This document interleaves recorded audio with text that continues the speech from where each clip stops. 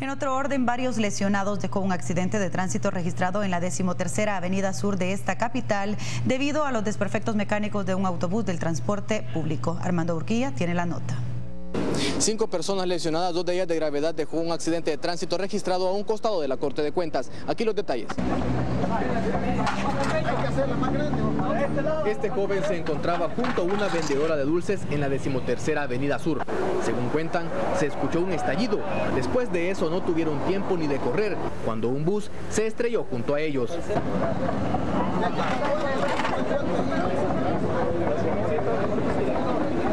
Corra, le dije. Y él en vez de correr para este lado se fue para allá y justamente lo alcanzó a agarrar y le agarró las piernas, lo, contraminó. Y yo me quedé, alcancé a, correr hasta por acá, solo sentí que cayó el, el, parabrisas y yo dije, Señor, bueno, en tus manos me encomiendo y... ¡Arriba! ¡Arriba! ¡Arriba! ¡Arriba!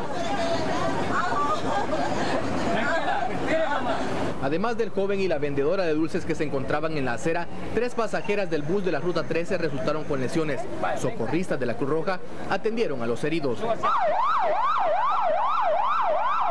Son politraumatizados, ¿verdad? Diferentes golpes y, bueno, de hecho la señora es la más grave, ¿verdad? Ya que lleva un trauma de, cráneo.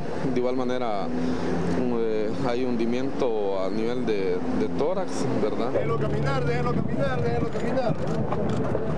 El motorista del autobús, identificado como Emerson Marroquín, aseguró que en plena marcha perdió la dirección de la unidad, haciendo imposible evitar la colisión. Se le da mantenimiento por cada día que descansa, de hecho descansa un día a la semana, se trata de que el mecánico esté ahí y lo revise. ¿Cuánto recibió el... Yo ayer, ayer descansé, ayer se revisó el bus. ¿Qué es lo que pasó? ¿Qué sentiste? ¿Por qué es lo que pasó? No, simplemente me quitó la dirección, pues en un momento. La policía capturó al motorista. En este caso se dijo que no será protegido por la ley FONAT.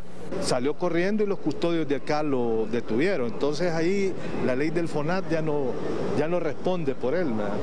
El conductor de la unidad del transporte público será acusado del delito de lesiones culposas. Hasta acá el informe.